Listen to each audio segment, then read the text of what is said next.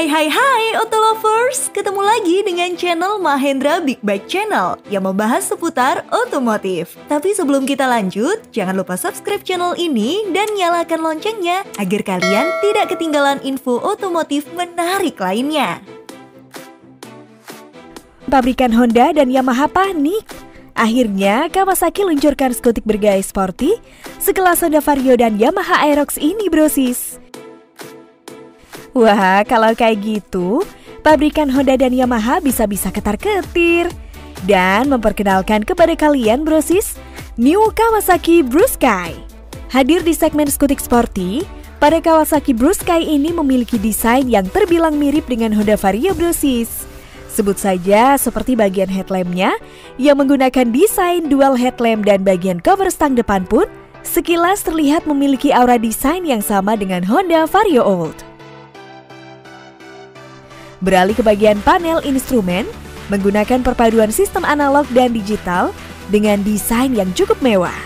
Sedangkan untuk urusan dashboard depan juga terdapat kompartemen barang, serta nggak ketinggalan slot charging juga sudah dilengkapi pada motor ini.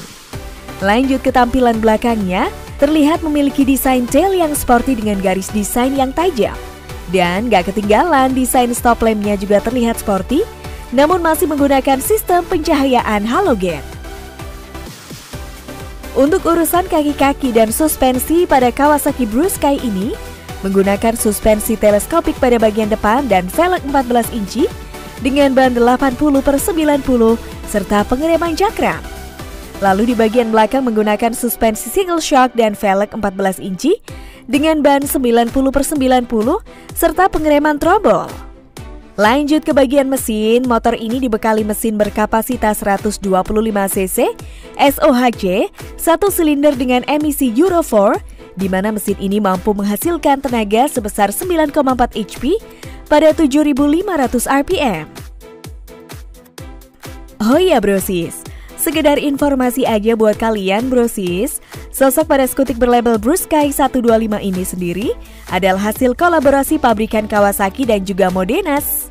Buat yang belum tahu, pabrikan Kawasaki sendiri sudah beberapa kali meluncurkan motor di kelas motor harian dengan menggunakan pabrikan Modenas Brosis. Dan menariknya pada sosok Kawasaki Blue Sky ini dibanderol 19-20 jutaan loh.